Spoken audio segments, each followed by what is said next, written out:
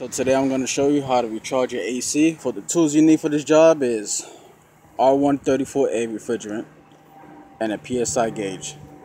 You can usually buy the PSI gauge and it comes with the refrigerant. Sometimes you could buy it separately. Um, once you use up the can, if you use up the can, you can always reuse the gauge. So it comes in handy. Okay, before I show you how to properly do this, I'm going to give you a little quick tip a history about this. Now, people confuse this with R12, but more commonly they confuse it with Freon. This is not Freon. They stopped making Freon on 1993 vehicles. That was the last line of vehicles that they made Freon. The reason why is because Freon is um, environmental unfriendly. it depletes the ozone layer and whatnot. So that's why they made R134A instead. So now cars from 1993 and up is R134A, not Freon, not R12. So when you go to your local auto parts stores and you go in, inside and you ask for Freon, don't do it. Because they're just going to look at you like you have three heads. just don't do it. Just say, do you have R134A? They know what you're talking about.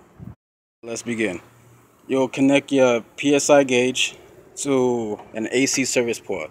This is the low pressure AC service port and this is the high pressure AC service port.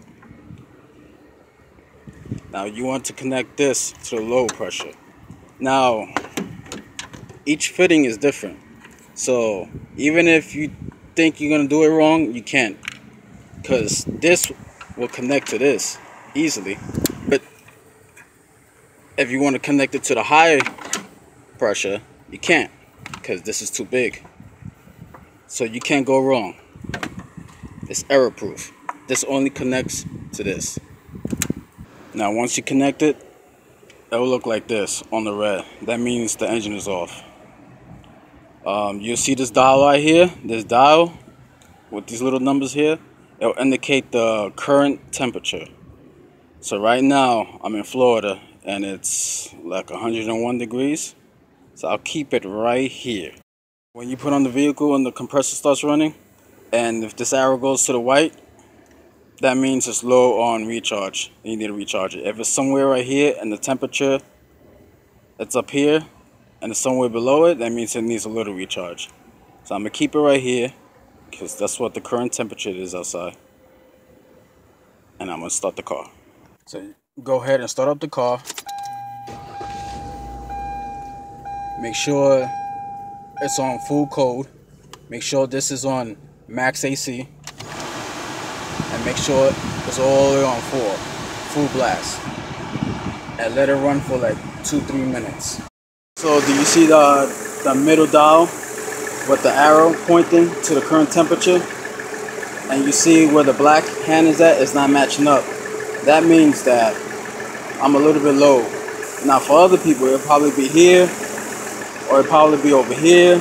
So you need more of a recharge. For me, I don't need that much of a recharge, but I do feel when I drive, it's not that cold. So that little recharge right there will make a big difference. So when you squeeze the trigger, you move the can side to side for every three to five seconds and you stop to check the gauge. And if you need to put more, then you continue.